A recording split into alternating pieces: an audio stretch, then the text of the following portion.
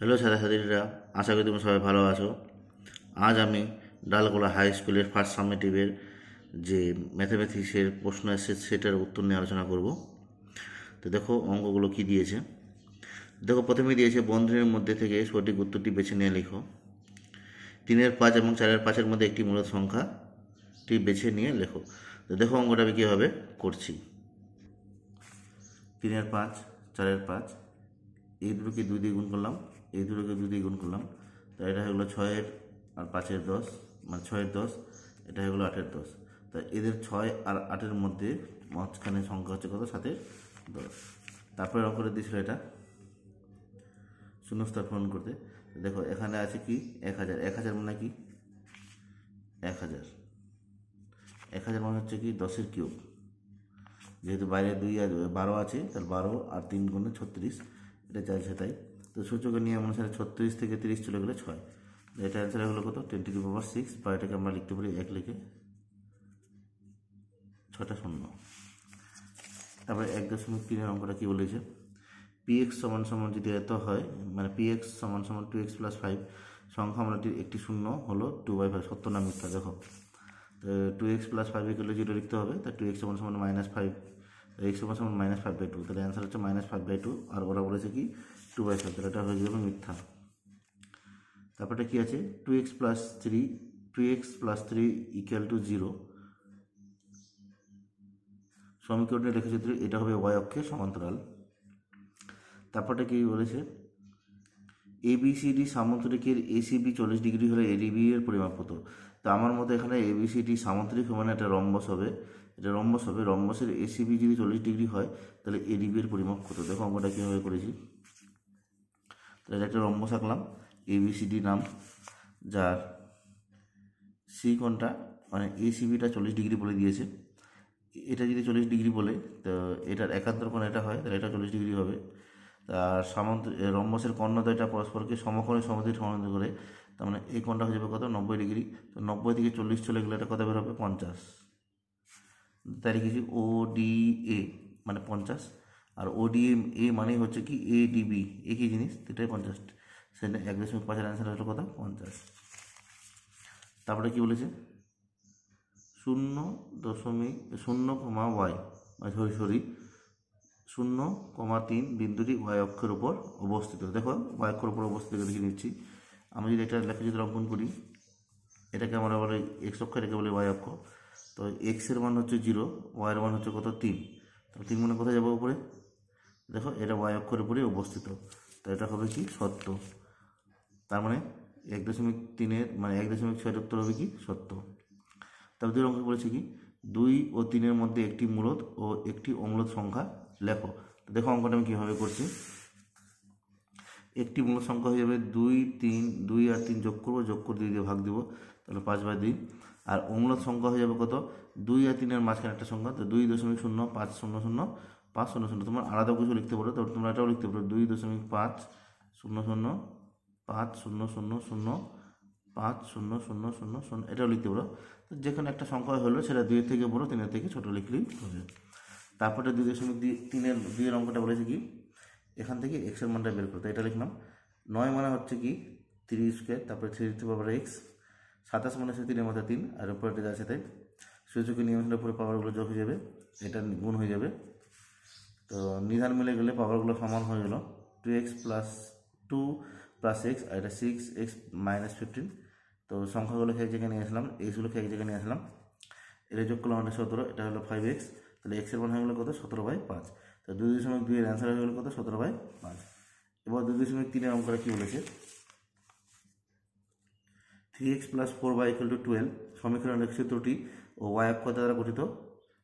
অক্ষ দ্বারা গঠিত ত্রিভুজের ক্ষেত্রফল নির্ণয় করো এটা লিখলাম সবগুলোকে বারো দিয়ে ভাগ দিলাম তাহলে এটা এক্স বাই ফোর এটা হয়ে গেলো y by three equal to one তাহলে এক্স ক্ষেত্রটি এক্স অক্ষকে চার একক দূরে আর ওয়াই অক্ষকে তিন একক দূরে ছেদ করবে তো অতএব ত্রিভুজটির ক্ষেত্রে হয়ে যাবে one by two into four into three তার মানে কত ছয় এখন এটা এর সঙ্গে এটা যদি কাটাকাটি করি দুই দিনে ছয় বর্গ একক হয় তাছাড়া বুঝতে পারল কী করে হলো তারপরটা বলেছে এফ এক্সের মান যদি এত হয় তাহলে f x plus f f of minus এক্সের মান কত তো দেখো এফ এক্সের মান টু এক্স প্লাস ফাইভ তাহলে এফ অফ মাইনাস এক্সের মান যাবে টু এক্স প্লাস ফাইভ এবার প্লাস করব প্লাস করলাম, তো টু এক্স প্লাস ফাইভ এটা হয়ে যাবে minus two x plus five তো এখানে টু এক্স টু এক্স কেটে গেলো, পাঁচ আর পাঁচ করলাম দশ, তাহলে মানে দুই দশমিক চার অঙ্ক হলো কত? দশ।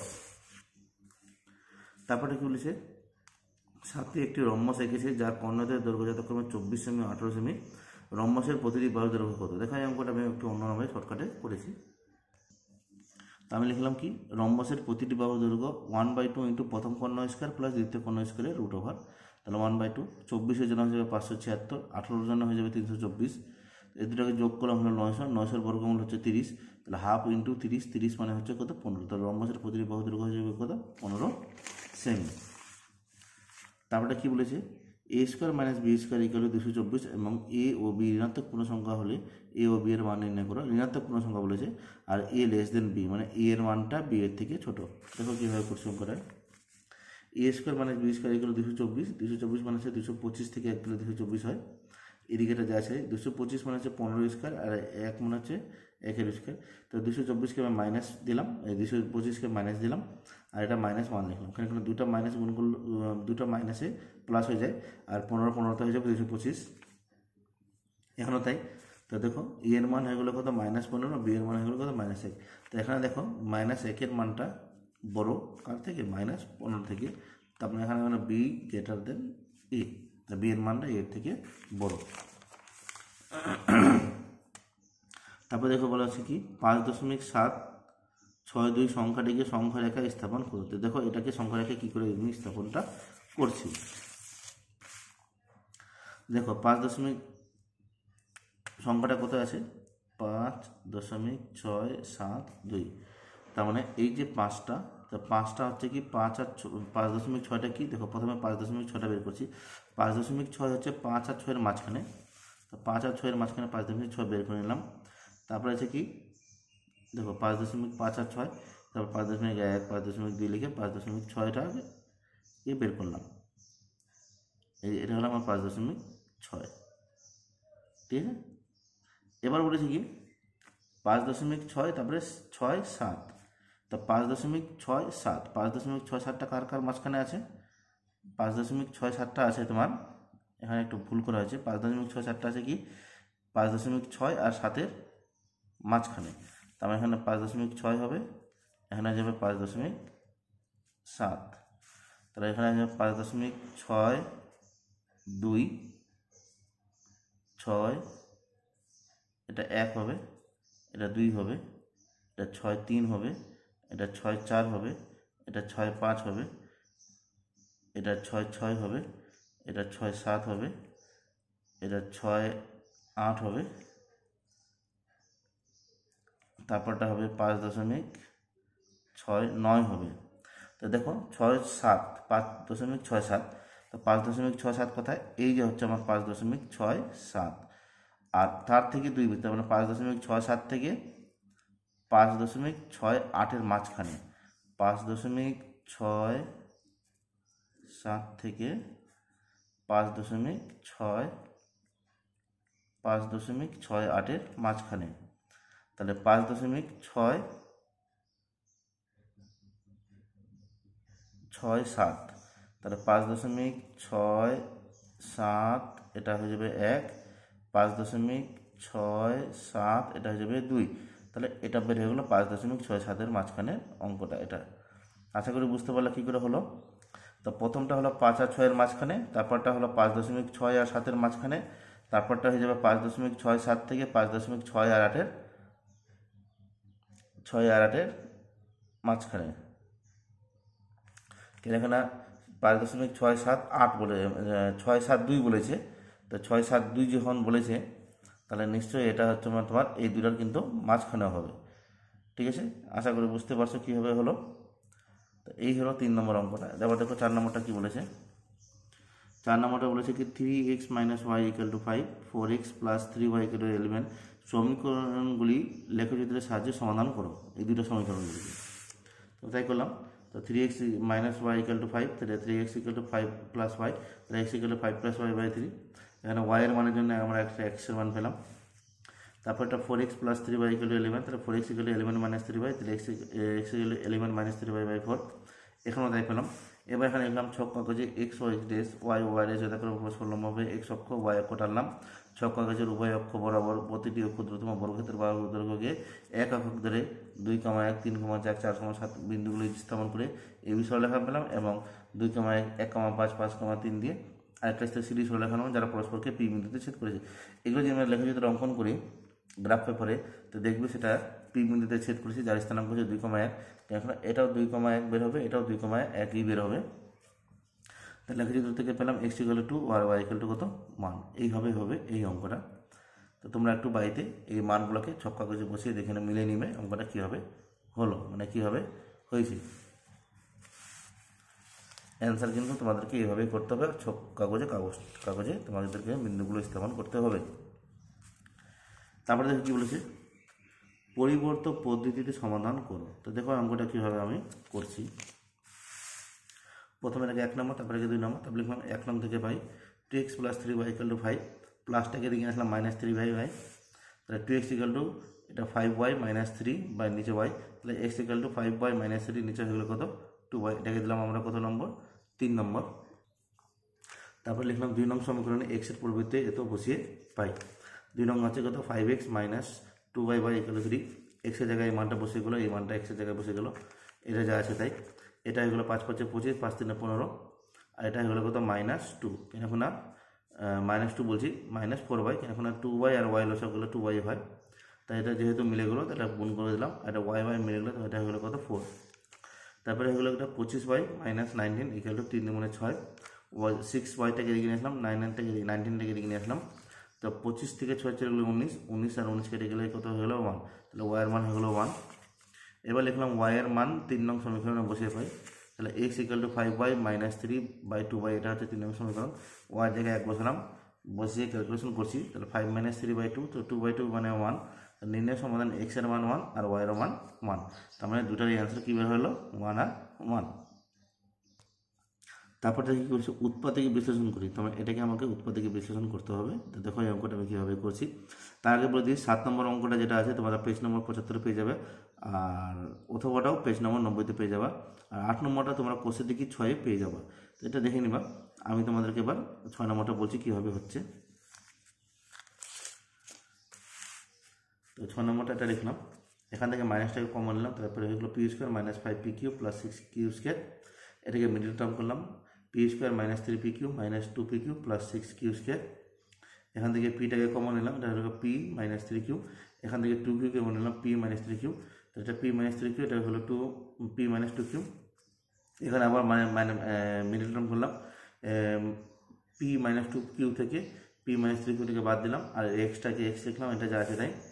এবার এটার সঙ্গে এক্স এক্সকে গুণ করলাম তো x p minus two q into x minus minus হয়ে গেলো plus p minus three q এটা হয়ে গেলো এক্স এটা যা আছে তাই। এখান থেকে এক্সটাকে কমন নিলাম, তাহলে এটা হয়ে গেলো এক্স মাইনাস পি মাইনাস মাইনাসে প্লাস টু কিউ আর এখান থেকে কমন যাবে কত? এখান থেকে কমন যাবে পি মাইনাস থ্রি কিউ এখানে হয়ে গেলো x x minus p plus two q এখান থেকে x minus p plus two কিউটা common নিলাম, এটা হয়ে গেলো x plus p minus three q তো আশা করি বুঝতে পারলে কী করে হলো, ছয় নম্বর অঙ্কটা। এবারে আছে আমরা নয় নম্বর অঙ্ক। নয় নম্বর অঙ্ক বলেছে কি two comma five five comma nine nine comma twelve six comma eight বিন্দুগুলি স্থাপন বিন্দুগুলি যোগ করে একটি নম্বর উৎপন্ন হয়। প্রমাণ করো, দেখা যেতে বলছে, দেখো কীভাবে করছি। তো ধরে নিলাম এর মান টু কমা ফাইভ বি এর মান ফাইভ কমা নাইন সি এর মান নাইন কমা টুয়েলভ ডি এর মান হচ্ছে সিক্স কমা এইট প্রথমে আমি এ বি দৈর্ঘ্য বের করলাম এ থেকে বি তারপরে two minus five five minus nine করব। এটা হলো থ্রি স্কোয়ার এটা হলো মাইনাস ফোর স্কোয়ার তারপরে নাইন প্লাস সিক্সটিন মানে পঁচিশ মানে পাঁচ বের হলো। এবার বের করব বি আর সি বি মানে পাঁচ minus nine nine minus twelve হবে। তারপর হোল স্কোয়ার দিয়ে রুট ওভার করতে হবে। এটা হয়ে গেলো মাইনাস ফোর এটা হলো মাইনাস থ্রি এটাও সিক্সটি প্লাস মানে এটাও পাঁচ। এবার আমরা করব সিডি মানে সি থেকে ডি আমরা nine minus six twelve minus eight তার হোল স্কোয়ার করব। এটাও হলো পঁচিশ মানে পাঁচ। তারপরে করে করব আমরা ডি থেকে A six comma two eight comma five তাহলে সিক্স থেকে একবার টু মাইনাস করব এইট থেকে এবার ফাইভ মাইনাস করব। Six comma six minus two eight minus five এগুলো ক্যালকুলেশন করলাম, এটা বের হলো কত? পাঁচ। তো ডি এর মান হলো পাঁচ। আমি দেখতে পাচ্ছি চারটা বাহুরই মান কিন্তু একই বের হলো। এবার আমি বের করছি কর্ণটা এসি কর্ণ। তার মানে এ থেকে সি বের করলাম ক্যালকুলেশন করে কত বের হলো? সেভেন রুট টু বের হলো। টু কমা নাইন মানে একবার টু থেকে নাইন একবার পাঁচ থেকে মাইনাস টুয়েলভ করলাম তো এটা বের হলো। এবার বিডি কোন বের করলাম? বি থেকে ডি মানে পাঁচ কমা, পাঁচের থেকে ছয় বাদ হবে, আর নয়ের থেকে আট বাদ হবে। তো বিয়োগ করলাম। বিয়োগ করলাম তো বের হলো কত? রুট ওভার টু তো দেখতে পাচ্ছি A B B C C D D A এর তিন, চারটা বাহুর মান সমান, কিন্তু এসি আর বিডি এর মান সমান না। মানে চারটা বাহুর দৈর্ঘ্য সমান, কিন্তু কর্ণ দুইটা সমান হলো না। তো অতএব বলতে পারি আমরা এ বি বিন্দুগুলি যোগ করলে একটি রম্বস উৎপন্ন হয়। এখানে দেখো, আমরা যদি একটা রম্বস তো বানাই, এইভাবে রম্বস হয়। রম্বসের নাম এ বি সি ডি যদি হয়, তাহলে এ থেকে বি একবার বের করলাম, এটা পাঁচ বের হলো বি থেকে সি আর পাঁচ বের হলো সি থেকে ডি পাঁচ বের হলো এ থেকে ডিও পাঁচ বের হলো। তারপরে বের করলাম কি, কর্ণ। এই দুটা কর্ণ দৈর্ঘ্য তো রম্বসে চারটা বাহু দৈর্ঘ্য সমান হয়, আর কর্ণ দুটা কিন্তু অসমান হয়। আমি এখানে এটা প্রমাণ করতে পারলাম। এটা প্রমাণ করতে আমি বলতে পারলাম যে বিন্দুগুলি যোগ করে একটি রম্বস উৎপন্ন হয়। তো আশা করি বুঝতে পারলাম অঙ্কগুলো কীভাবে হলো। এই হলো ডালকুলা হাই স্কুলের ফার্স্ট সামেটিভের দুই হাজার চব্বিশের ম্যাথামেটিক্সের প্রশ্ন উত্তরগুলো। তো তোমরা একটু মিলিয়ে নিবা যে তোমাদের সঙ্গে কেমন করে হয়েছে, না হয়েছে অঙ্কগুলো একটু মিলিয়ে নিবা। তো আশা করি বুঝতে পারলাম কোশ্চেন কী এসেছে আর তার উত্তরগুলো কী কী হবে। তো এই বলে আজ ভিডিও এখানে শেষ করছি। আর যারা প্রথম দেখছে তারা অবশ্যই চ্যানেলটিকে সাবস্ক্রাইব করে নেবে পরবর্তী নতুন ভিডিওগুলোকে পাওয়ার জন্য। আর এদের ডিসক্রি পুরো ডিটেলসে ভিডিও পেতে হলে তোমরা অবশ্যই চ্যানেলটিকে সাবস্ক্রাইব করে নেবে পরবর্তী ভিডিওগুলিকে পাওয়ার জন্য। আর যারা ফেসবুক পেজ থেকে দেখছ তারা অবশ্যই ফেসবুক পেজটাকে ফলো করবে নতুন নতুন ভিডিওগুলিকে পাওয়ার জন্য। আর আমার নবম শ্রেণির যতগুলো ভিডিও আছে তোমরা কিন্তু নবম শ্রেণির ভিডিওগুলিতে পেয়ে যাবে। একদম পুরো সিরিয়ালভাবে পেয়ে যাবে। তো আমি এই চ্যাপ্টারটা মানে নয় নম্বর যে অঙ্কটা আছে, স্থানাঙ্ক জ্যামিতি নিয়ে সেটা ভিডিওটি শুরু করেছি। তোমরা কিন্তু সেটা সেখান থেকে দেখে নিতে পারো যে এই অঙ্কগুলো কীভাবে হচ্ছে। আর ওখানে গেলে পরে তোমরা ডিসক্রিপশনে প্রত্যেকটা ভিডিওর লিঙ্ক পরপর পেয়ে যাবে। তো এই বলে আজ ভিডিও আমি এখানে সমাপ্ত করছি। আবার দেখা যাচ্ছে প্রভৃতি ভিডিওতে ধন্যবাদ।